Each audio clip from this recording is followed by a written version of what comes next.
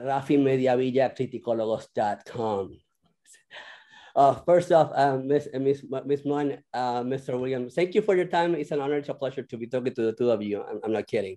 Um, can I just say it's an honor to see your background and and I know that it's not a fake background. It's not a it's not a Zoom background. That's your real that's your real deal. That's your life.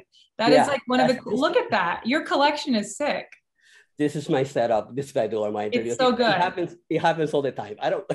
I don't want to take it any more of the time. So let me jump right into talking about Parker a little bit. Uh, um, uh, Parker, his role past. Um, you know, uh, being a social worker. What is it about Dahlia's and Ashley's case that makes it so important to him, in your opinion? Yeah, well, that's that's a good. I you know, I guess I'd say that gives him meaning. You know what I mean? Parker's floundering at the top of the piece, at the top of our film. Uh, can't take care of himself. Cares deeply about Ashley. He knows what's going on. He has a sense. He's he's got you know, his antenna in the air, and I think he really, I think he has a real soft spot. I know he does. I'm not saying I think. I know he has a real soft spot for Dahlia, and um, and uh, probably could have a little bit more, but but you know, we explored a little bit of that, but and I just think he he really cares about him, and that's that's powerful. It's something that you can play. I can I can I can really play and dig into that, you know, and then juxtapose that with my own father, who's not there. It's interesting that Michele chose me to go into social work. You know, I like that. I I think it works really well along with the thriller aspects of the of the film and the entertainment of the film. Miss Money, this is a really heartfelt movie, and it's it's sad, but at the same time, it has a, it has a lot of heart. What what was it about? And, and the two of you have done everything. Honestly, my book, you know, so the two of you have done everything. What was it about Dahlia that that really uh, caught caught your eye of, of the script? Well, I love that this this script um, one is you know it's a blacklist script, so we already know that it's you know a really special script, but.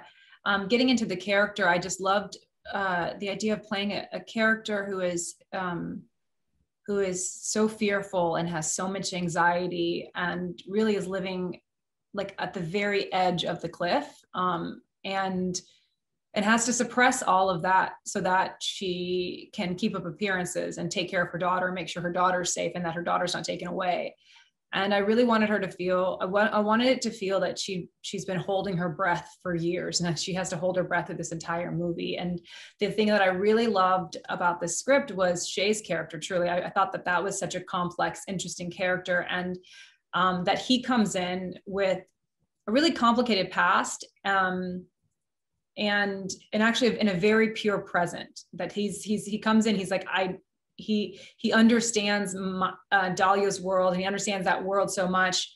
Um, and he's somebody who just wants um, to help. And I love that.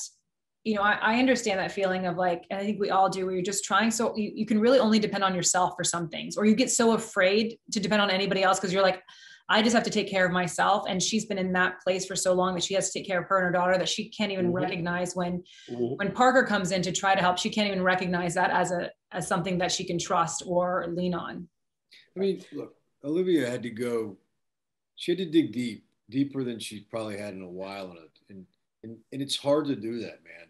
It's really tough. You, what I call unzipping unzipping and you got in because she's she Livy's smart. She's smart. She's off the chart smart. She's strong. You have to go to this place but you can't fake it. You can't fake that. You can't play at that. You got to go there. And when you do you get the results i think of the film you know? It's amazing.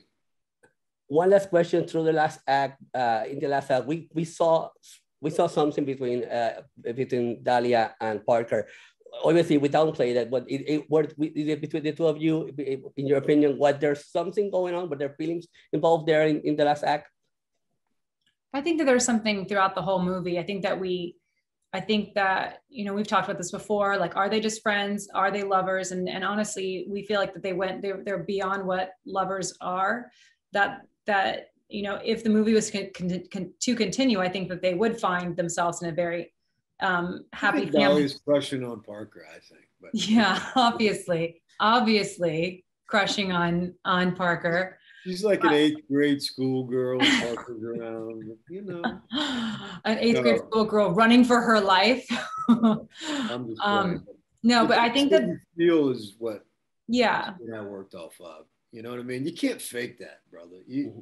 you know what I mean? You it wasn't on the page, but it's what what Shea and I felt for each other. Then you bring that, and it's honestly something we talked about, which is like, um, no, that's not where we're gonna go. But it has been something that we've been asked about a lot, which I think is just I think people are just picking up on you know the chemistry that Shea and I have mm-hmm. together.